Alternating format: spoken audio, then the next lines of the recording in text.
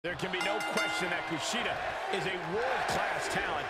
Before landing in WWE, he was one of Japan's top high flyers and found success in practically every ring he entered.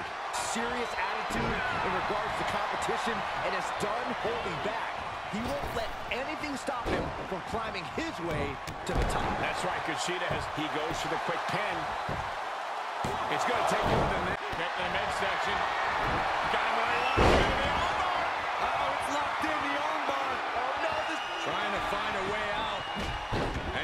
punches his way out of the submission. There's that one. Effectively targeting the arm.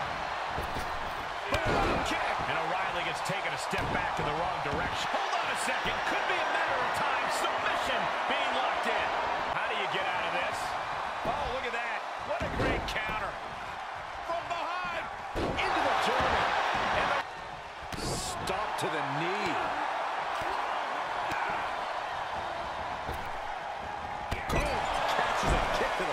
Perched up top. Diving knee drop. He's got him down. Is this it? Stops the count before it, too.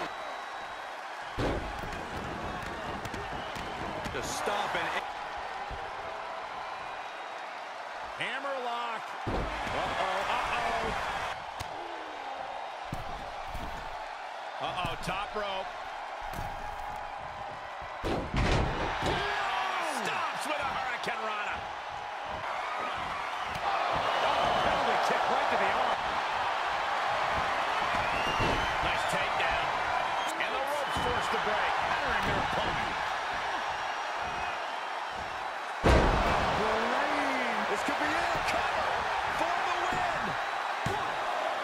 Strong kick out. This superstar building incredible momentum. Oh, I mean, this is, I don't know how the superstar is doing it. Down and out moments ago. Kyle avoids that one.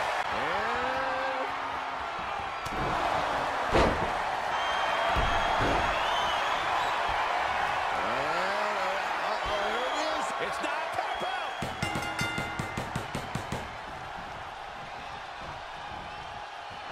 Kushida got it. Kushida gets the win.